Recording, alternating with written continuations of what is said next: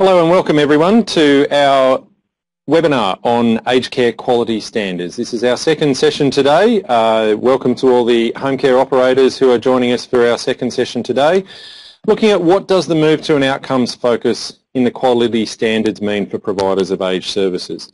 My name's Brendan Moore. I'm the General Manager for Business Support Services and State Manager for New South Wales and ACT and I'll be facilitating today's webinar with our Principal Advisor, Troy Spears.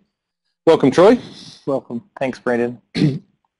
Just uh, on screen in our uh, PowerPoint slides, we've got a 30-minute presentation. Uh, we'll be going through the conceptual approach for navigating the transition to the new standards for home care providers, how you might demonstrate evidence of consumer outcomes using a framework, and accessing additional support in the transition process and how LASA is supporting its members through this uh, coming eight months or so until we transition on the 1st of July 2019. We've got uh, 15 minutes set aside for questions or discussion. Uh, please submit your questions during the presentation. What worked quite well for us in the residential session that we've just run is I'll keep an eye on the questions as they come in and we'll answer them uh, as soon as we possibly can. So uh, we'll be interacting with you as we go. So please ask us questions as we're going through. We're also um, in this presentation looking at um, the aged care quality standards. We're assuming a certain level of knowledge in our audience uh, in terms of uh, base level of understanding of some, obviously the old standards, uh, a little bit around the new standards as well, and we're doing a little bit of a dive into um, a specific area that LASA staff have identified is quite a significant change for the industry, which is moving to outcomes focus for consumers. So that's the main focus for us this afternoon. Um, so in terms of the aged care quality standards, uh, most of you should be familiar with that we have four program-specific standards and they focus on assessing performance against practices and processes for care delivery. So we'll be talking a little bit about practices and processes as well. We won't be ignoring that, uh, but certainly making the shift to the focus on outcomes as part of this new single set of aged care quality standards that we're moving away from the four separate standards listed there on the slide. And what we're seeing uh, in the future is a need for providers to demonstrate evidence across practices, processes and outcomes mapped against each of the eight standards.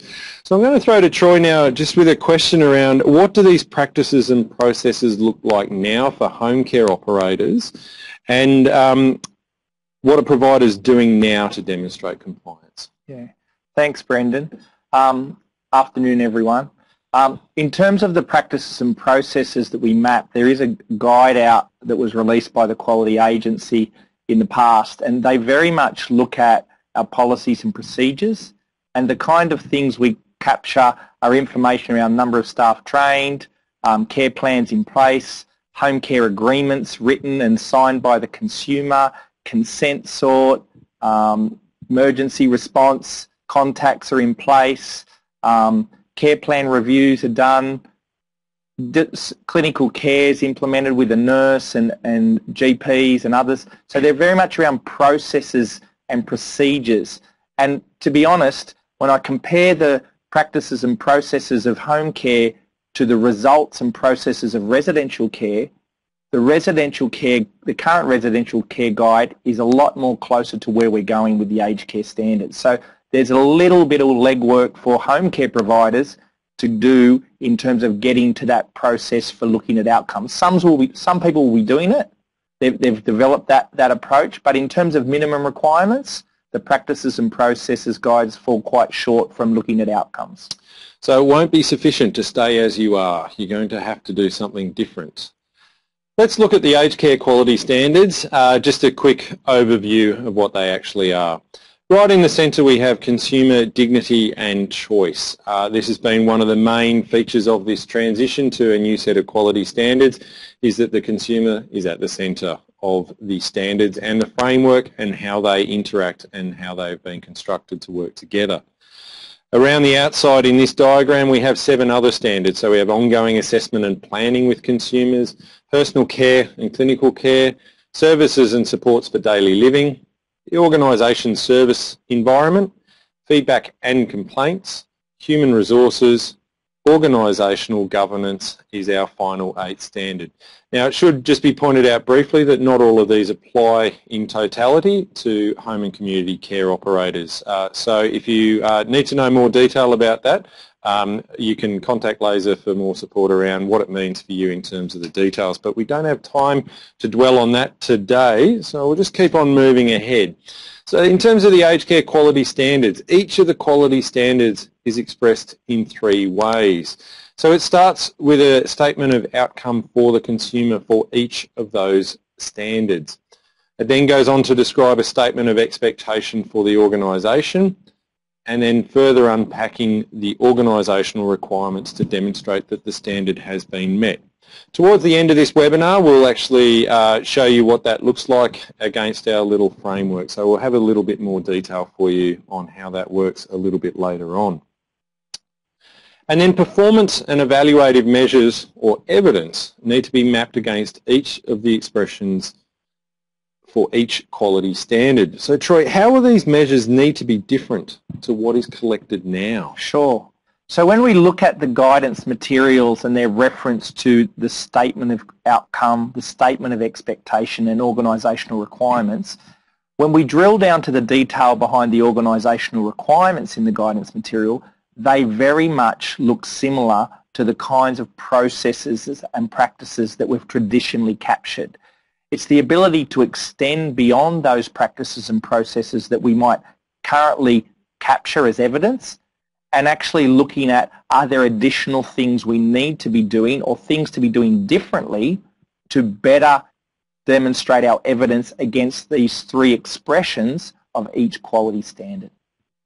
Thanks, Troy. We're now going to introduce a conceptual approach to navigate the transition in terms of moving through this uh, cascading hierarchy of process through outcome to impact evaluation. Troy, over to you to describe this in a bit more detail and what it actually means. Thanks, Brendan. Um, so there's three, we've chosen a very simplistic approach to outcome evaluation to help providers start to move into this process of thinking about demonstrating um, outcomes. And it's a public health approach. We often see it in health promotion. Um, it talks about three levels of evaluation or three levels of evidence. Process evaluation, outcome evaluation, and impact evaluation. And we're going to go through each of these levels so you can have a little bit more understanding regarding what we're doing. But we're distinguishing between our performance or our evaluation measures at each level to assist in mapping evidence. For example, we might want staff to be um, doing what would be called manual handling. And this is very much around ensuring that there are no injuries for staff, but no injuries for consumers as we start to deliver care in the home. Knowing that at home, it's a very autonomous um, operational environment and staff need to be very alert and aware what's going on. So at a process, we deliver training. Um, and then the number of staff trained translates to what we might call an output. But the real outcome is actually seeing less injuries and a consumer being able to be mobile in the home. So that's, that's a way of thinking about process translates to outcome. We're very good at demonstrating process. The challenge is how do we articulate an outcome? And this is a, a framework that's going to help us to understand that as we navigate the transition. So let's have a look now at our first level of evidence, the process evaluation. Measures of a process um, for delivery of aged care services might be things we describe as assessments being conducted for each client, care plans being developed and reviewed for each client, scheduling of care visits being completed, recruitment and training of staff to deliver the care they need to do consistent with care plans, complaints, response and communication to consumers about their rights to make complaints and the response that the organisation will have. And then we have a whole range of policies and procedures and work instructions to support care delivery in the home. All the kinds of things that we currently capture data and report through quality review are consistent with these processes. And we've traditionally been accredited against implementation of these processes to demonstrate our evidence against the home care standards. And when we look at what do we need to capture, It's very much driven by what's articulated in the Practices and Processes Guide. So that's where we are as an industry at the moment in terms of process. So Troy, should providers be rethinking their indicators and their data collection at this level, given they've been very familiar with capturing information and data around process? Are we throwing the baby out with the bathwater here or uh, are we keeping this level of information? Look, I think, I think we're keeping this level of information. It's about how to capture it more smartly, more efficiently. One of the biggest challenges we have with compliance and quality assurance is we're capturing data. We get a reviewer come in and say you need to demonstrate this, demonstrate that, and we will develop a new system. So there is an opportunity in this transition to look at can we be more smarter and more efficient in the way we do things. And often that might mean using technology, but it, that's really dependent very much on the size of your organisation and the capability within your organisation as to what you actually do at this level. So there is a little bit of variability, but we're definitely not throwing out the baby with the bathwater. Thanks, Troy. And just a reminder to everyone participating, please keep your questions coming in and we'll address them as we go. Uh, please, Troy, continue on to our next slide on outputs. Now, the, the next thing we need to understand of part of process is the outputs.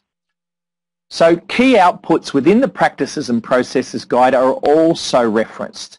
Things like tracking the reach of a service. So we might be able to say how many males we service, how many females we service, what the average age is. They're all the kinds of outputs regarding the reach of our service.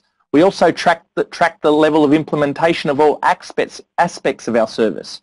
So for example, do consumers have a behavioural um, intervention plan where there are behaviours of concern for consumers or loved ones um, where there may be cognitive impairment? Or do we have a falls risk plan in place and, and a review and an assessment of that? They're all the kinds of outputs. The question is, how does a, a review or a plan generate an outcome for a consumer? It's, the review in itself is an output. It is not an outcome for the consumer. And I think we need to be really clear that this level of evidence is not going to be sufficient in demonstrating outcomes for consumers. We need to extend further beyond what we currently might be able to collect and demonstrate quite well. And, and this is where, when we identify gaps, we might start to use um, continuous improvement to be able to uh, develop that. So examples of, of the indicators we might be using at process, around the process or the outputs, key service documents, you know, the number of risks that we've identified and how we've responded to that, focus groups, how many consumers were consulted, how many carers, primary carers were consulted, how many staff were consulted? The, the, the annual staff survey, what was the feedback of that? Observational inquiry, and also other reportable data. Many of these fall into the area of outputs, and they may not actually be able to clearly articulate, but how did that translate to the outcome for the consumer? And some further uh, basic level uh, descriptors of outputs uh, would be hours of care, meals provided, trips driven, newsletters provided to uh, clients, your monthly statements, decisions made by your board. Uh, they are all uh, outputs of some form that most people will be familiar with, but you may not necessarily have thought of them in this uh, manner in terms of the framework that we're presenting to you today. All right, Troy, let's get into the more meaty stuff around outcomes. This okay. is where it gets hard. So now we start to look at how do we demonstrate outcomes for the consumer. Well, an outcome is a measure of status of, or change in a consumer's attitude, behaviour or condition that's sought after through the delivery of aged care services. And typically we might see these as the goals in our care plans for our consumers. So the question is we need to be able to articulate in our care plans what's measurable. Is it the status or is it a change in consumer attitude, behaviour or condition? Now, one of the common things we do measure that is an outcome is consumer satisfaction. It's one of the things we do, and it's a, it's a measure of attitude or measure of perception.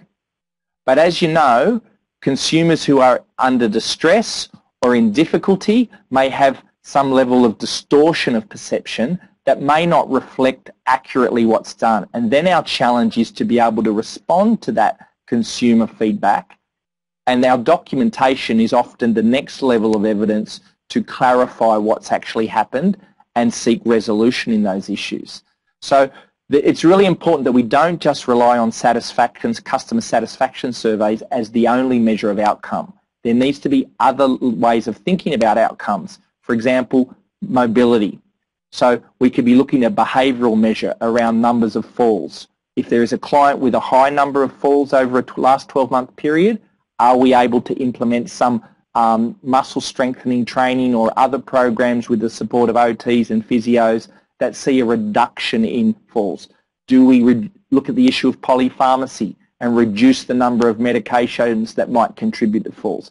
These are all the kinds of things you might address within a care plan to try and improve um, and demonstrate outcomes.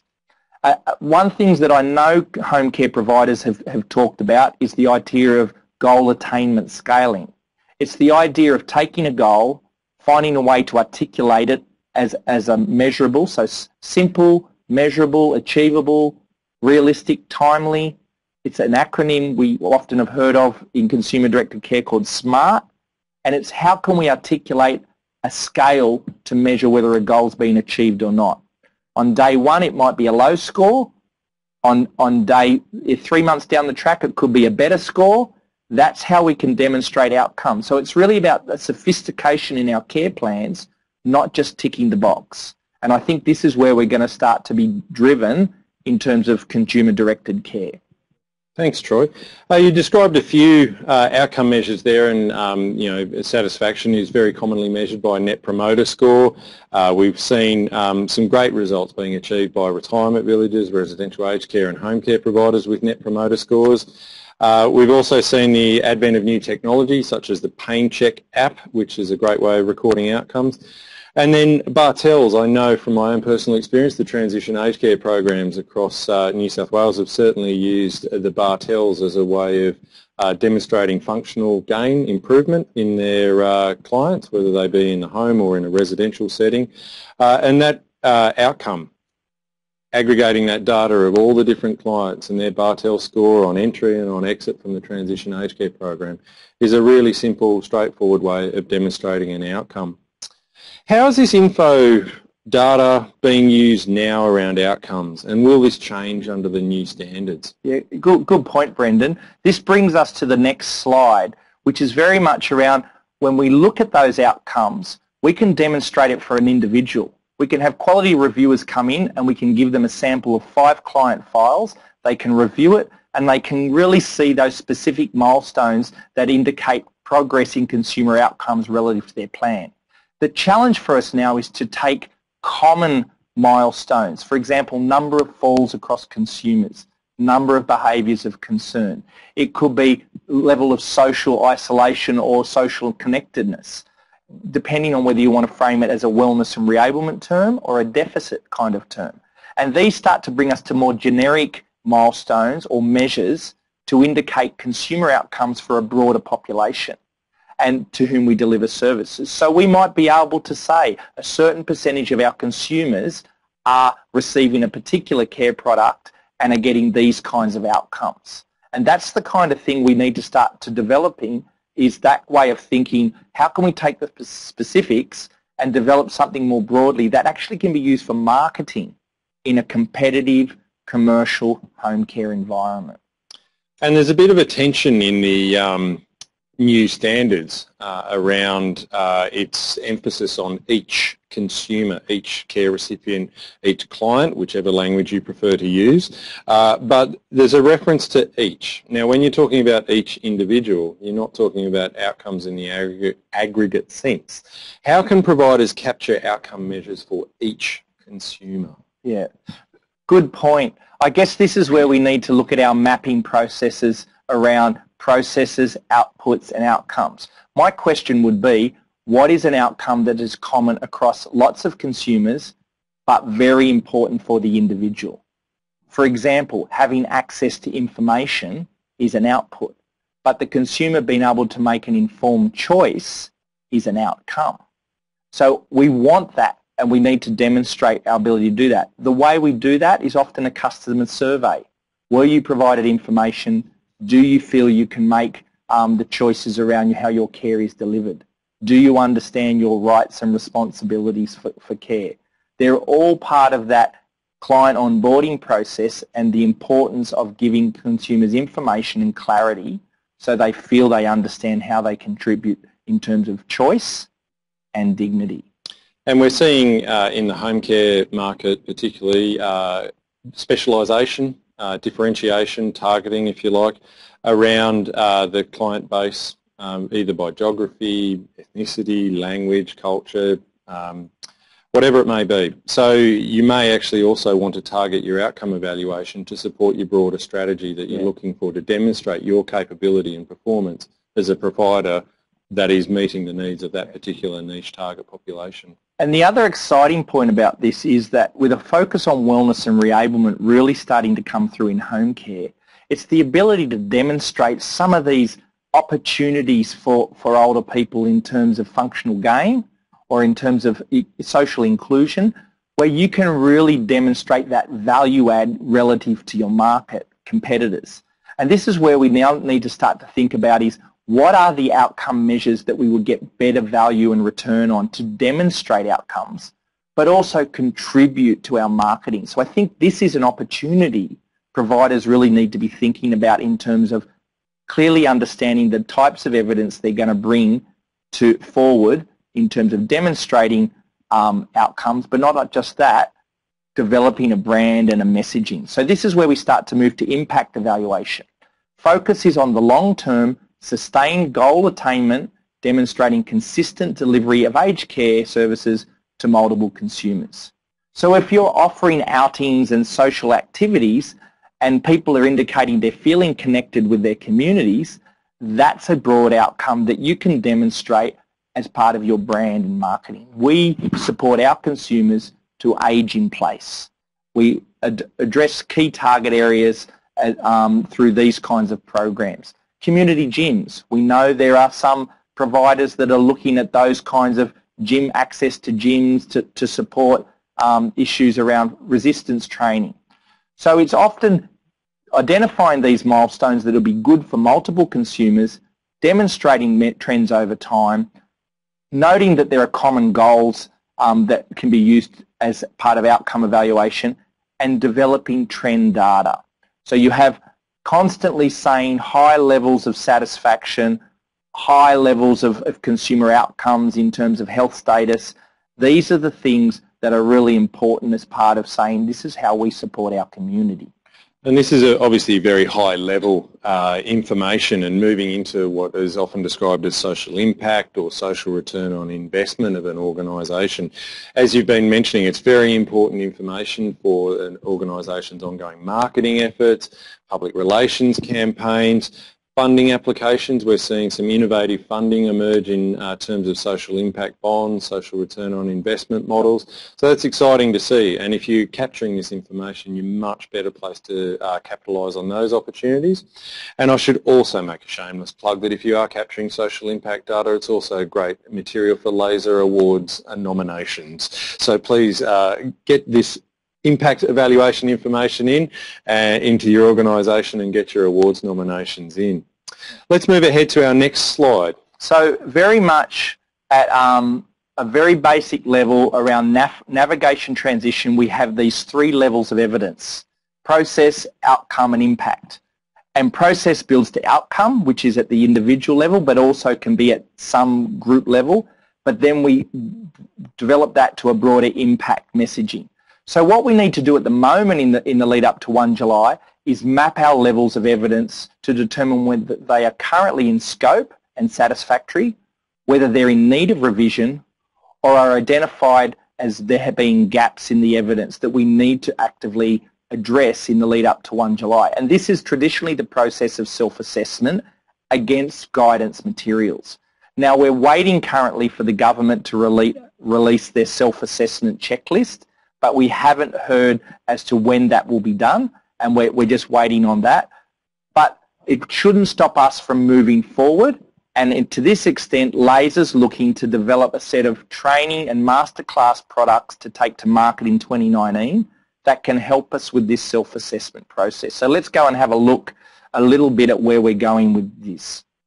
So at first we now have the guidance and resources for providers to support the new aged care quality standards.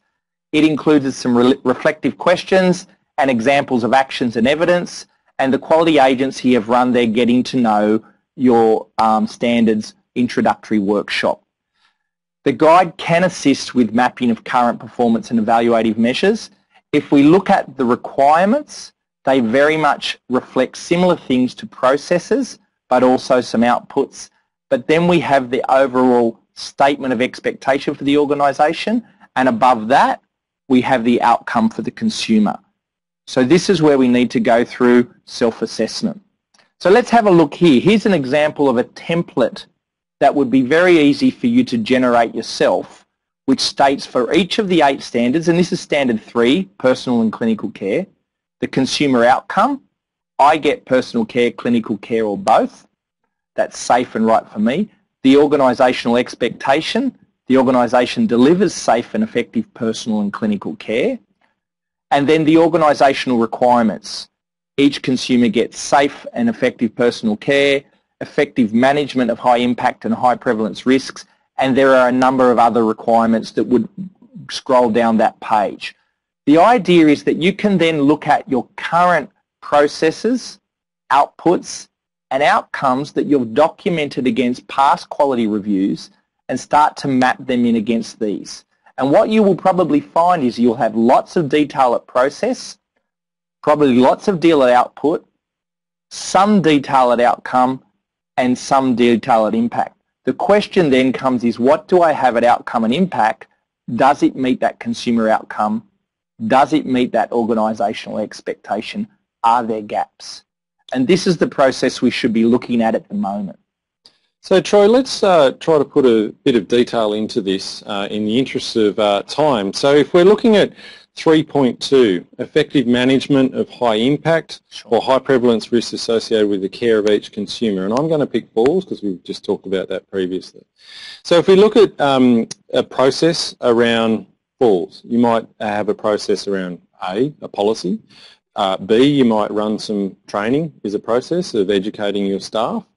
Um, any other processes that you might put in place sure. for falls? So given high risk, you might be looking at whether an assessment indicates you need two-person assist, whether there is funds in the budget to be able to facilitate that, and if there isn't, what's the advice you provide to the consumer around the choices that they have within financial constraints? It could be a conversation about contributing more to the cost of care. It could be looking at other, other forms of care that may be more appropriate you might be looking at the feasibility of a hoist or some other kinds of technology solution to assist around falls risk. It could be polypharmacy. Is a client on multiple medications and do we need to look at trying to, to pull that back? And there are products that are there to help achieve the outputs, which could be, um, you know, the care plan's been reviewed, it's been updated, staff have been supported, um, carers and the client have been educated, and then the outcomes. Are we seeing a reduction in falls mm. over a period of time? Is there strength and resistance training that's actually seen the client develop a sense of capability that they weren't able to have before? Mm. They're all very individualized approach. But if you have a, a number of clients with this kind of presentation, you might be able to think about, well, is there a generic measure for falls that we could actually use to demonstrate um, an outcome for a broader group of, of, our home care clients. And if we take that right up to the uh, point of uh, looking at impacts around reducing falls, say you achieve a 5% reduction in falls year on year, then from an as an outcome, then as an impact statement, you can actually look at um, evidence-based research around the cost of a admission to hospital, the quality of life years um, impacted by, and you can actually quantify numbers that then put an impact on your outcome. So you can say, well, we've saved the hospital system thousands of dollars, X many thousands of dollars, for achieving that falls reduction. We've achieved a, um, in terms of the public policy impact, but from an individual impact, you've given them um, X many quality of life years in addition to what they would ordinarily have experienced, but not by having a fall. Their lives are improved. And this is, this is the really key point I think you're making, Brendan, is that this is about how do I get myself to stand out from my competitors. This is a commercial market It's still maturing. It's still early days. We're talking about home care pricing and we're acknowledging that you can't have price without understanding what quality is. So this is an opportunity for us to invest in articulating quality to demonstrate what the price point is really worth. And as we see workforce resources become tighter and tighter, then quality is going to become more important as consumers start to choose. Do I want a good quality product or am I just going to take the average because that's all available?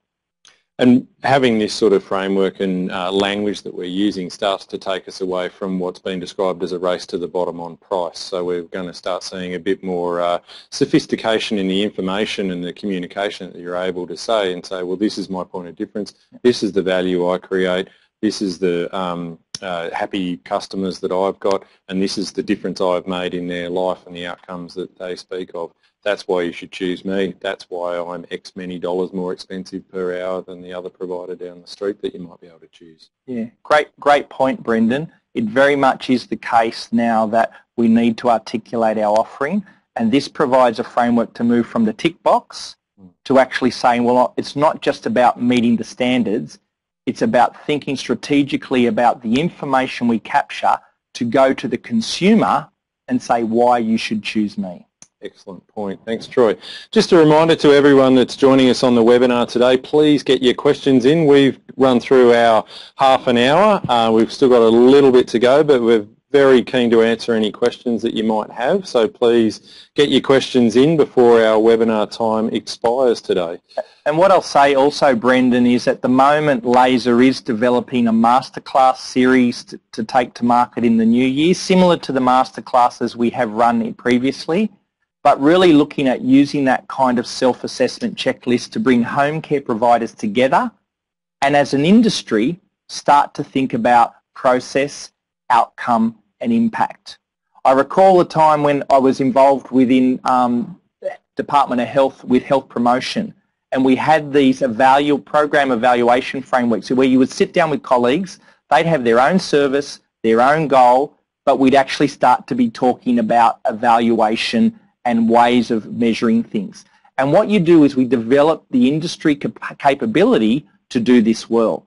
This is really what it is. We do quality. It's now about how do we articulate quality. And there's a framework and an opportunity for LASA and its members to come together and actually support each other to develop this capability. And I think this is how we're going to really start to support maturation of the market and preparation to engage consumers in a more useful way.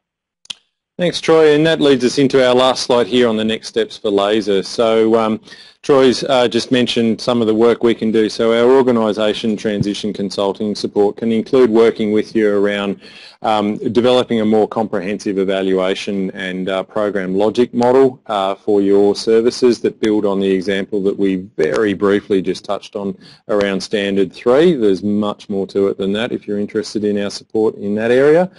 Um, also, we've made commitments to producing a policy and procedure manual and we hope to have that out in market by the end of February. We're also uh, looking at quality audits, continuous improvement planning to align with the new standards and friendly unannounced visits for compliance auditing. That's certainly a very frequently requested service of LASA consultants at the moment uh, and so happy to help you in those areas including looking at those unannounced visits um, coinciding with compliance auditing, auditing for the current standards but also then what needs to be done in gap analysis and transitioning to the new standards.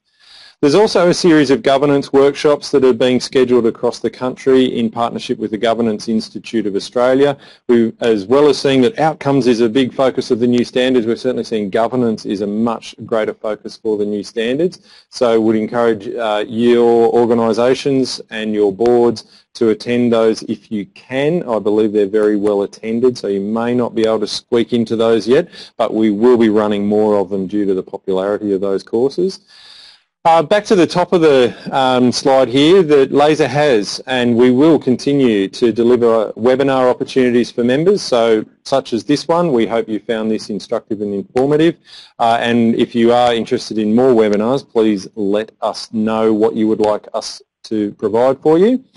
We have also provided overview presentations at regional forums, uh, other member engagements and on requests into specific um, services organisations And we're offering masterclasses around the country and they are available on request to organisations to begin the journey for you around transitioning to the new standards.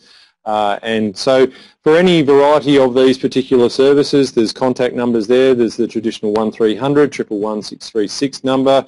If failing anything else, you call that number, you'll get in touch with the person that can help you. Um, for the events, presentations and masterclasses, there's the events at lasa.asn.au email address and for any of the consulting services listed there, um, quality at lasa.asn.au and we're able to uh, meet your needs. So we're just uh, starting to get a couple of questions coming in now in question time. So firstly, will the webinar be available? Absolutely, the webinar will be available. Um, it's being recorded and so the slides and the recording will be made available after the session concludes today. And then we've got another question here from Catherine. Other than client surveys, what are some examples of measuring impacts of wellness and reablement approaches? For example, measuring impact of the process of doing with client rather than doing for client. Excellent question, Catherine. I'll throw that to Troy. Thanks, Brendan. Great question, Catherine, and thank you for asking it. So there's two different ways to think about these kinds of measures for um, impacts or, outcomes. So if we take the example of doing with the client, the question um, really comes up is, is there a standardized measure we could use? For example, there's a social inclusion measure called the ASCOT, and there are other measures as well of wellness. So we might look at a, a wellness mood scale, a depression or anxiety scale. Um, there may be a range of different measures that are out there that providers are using and, and we really want short, sharp measures that are not too difficult. We see often it might be the carers who are filling them out, not so much the clients because of the burden. But the other way to think about it is if there isn't a measure there, there's a concept called goal attainment scaling. And this is the opportunity for you to generate measures specific to a care plan to measure change. It challenges you to think about how do we articulate a goal and how do we articulate how we will measure whether that goal's been achieved? What would we expect at day one? What would we expect 12, 12, um, sorry, 12 weeks later or six weeks later? What is, the goal, what is the goal the client would hope to achieve? A classic example is, okay, I have had a fall, I've come out of hospital, I want to start to be able to walk more, so I'm going to practice walking to my letterbox. I've got to navigate a couple of stairs and I've got to walk 30 metres to the, to the letterbox and walk back. And you might work with a physiotherapist to develop some, some muscle strengthening activity and start to implement that. So you can develop a goal attainment scale to measure the client's ability to achieve. Have I achieved that outcome? Have I partially achieved that outcome? Have I not achieved that outcome? So you develop your own scale specific to a client. It's often a very useful way of thinking about how do we extend care plans to demonstrate outcomes. But as your organisation becomes more sophisticated, you may you choose a standard measure or you may choose to collect group data that uses a similar kind of goal and actually try to measure, collect the information at a group level to do that. The key issue I would say at this point though is don't overcomplicate it. Keep it simple, keep it focused, on getting yourself into outcomes and then as it matures there are opportunities to grow that way of developing your products. We're just talking about transition in the next six months. It's, it's, it's the commercialization of these products will come with time. And it's a good idea now to start with uh, um, capturing baseline data um, and you've got uh, seven, eight months or so to capture baseline data and then when the transition point uh, occurs on the 1st of July, you'll have a ream of data available that suggests you're already there, uh, you're already demonstrating consumer outcomes and how your programs and your activities are supporting that. Um, we've got another question coming in from uh, Graham. How is this additional work funded under the CHSP framework? Good question, Graham, thank you. I've asked this question of the department and the understanding is that home care providers should be able to do this within their resources. It's not requiring a significant amount of change. Um, so this is why I'd be saying do the mapping and look at some simple prioritized outcome measures so that when quality review comes around, you can demonstrate it. And, and this is the thing. We're not so much around focusing on government funding to do this. It's very much around adjusting our current process. And we do know that there is a legitimate package management fee that needs to be charged as part of home care packages. And under CHSP, this should be accounted for within the funding framework. Now, I know that perhaps some CHSP providers have not operated like this, and we know that um, CHSP contract renewals are coming up in 2020. So it's probably more a matter of looking at the financial limitations of what you can do and focusing on a few items that you can do well to demonstrate outcomes. But the mapping is the key issue. If you don't do that well, then there may be gaps and the quality review will pick that up.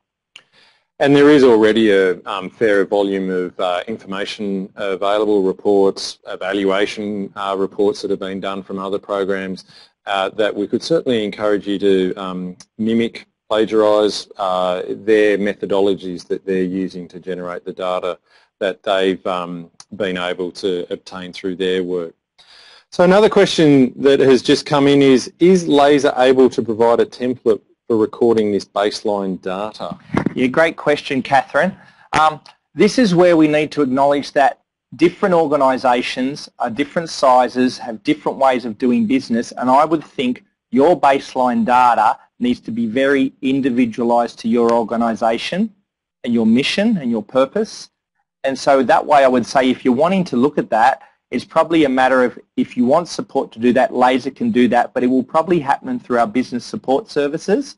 I know we have had some members that want us to do quality reviews and what we're doing in that is we're identifying key items that we can recommend for people in going forward. So if you, if you are interested in getting some support to think a little bit more um, focused about evaluation and moving forward, LASA can definitely help you with that. Yeah, and from my personal perspective as the General Manager of Business Support Services, I um, help members with strategic planning work and I always start from the point of purpose, come back to your purpose. And so any efforts in a change exercise in terms of operational implementation change comes back to your strategy, comes back to your purpose. What are you trying to achieve? uh, from an organisational perspective, why do you exist, what difference are you trying to make, and then how does that convert into your strategy. So, yeah, reference Troy's comments there. It should be individualised and it should come back to what you're trying to achieve and the purpose you have as an organisation. We're coming rapidly to the end of our session uh, today in this webinar and we have time for any other questions. If people have got fast fingers that they can type a question very quickly for us, but otherwise we are running out of time. And so I just throw to Troy for a, a concluding comment whilst anyone with fast fingers can type a final question for us. Thanks, Brendan. You know, it, it's an interesting time moving from um, uh, what we might call a cottage industry to a commercial industry. Um, evaluation frameworks are one of the things that when you start to think about grabbing funding and moving forward to deliver an outcome, you want to develop your evaluation framework up front. What we're doing with this transition to the new standards is really saying, all right, we need to take stock around are the items that we're capturing evidence about at those three levels, process, outcome, and impact, the right measures or when we think about our, la, our the experience of consumer-directed care since 2015, should, should we be rethinking about it? So I think there's an opportune time to be thinking about are we doing things the right way? Should we be looking at changing things up a bit? And, and the, the good thing about, I know about change is if you're going to fail, fail quickly, but learn as you go. And I think this is the challenge. How can we do change in this transition cost effectively, resource effectively, but moving us in the right direction to help us to mature for the commercial market. And on that point, uh, that brings us to the end of the webinar. Uh, there were no people with fast fingers that managed to get a final question in. So thank you very much for joining us today in uh, this webinar on the aged care quality standards with a bit of a brief view of moving to an outcomes uh, focus and a framework that will capture that information, be able to demonstrate you, both your performance, but also the value it can add to your organisation in terms of um, it's reaffirming your strategy and your purpose and what you're trying to achieve for your consumers. So thanks very much. We hope you found it informative and va uh, valuable for you today.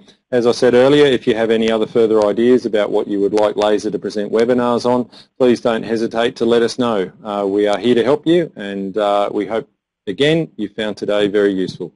Thank you and goodbye.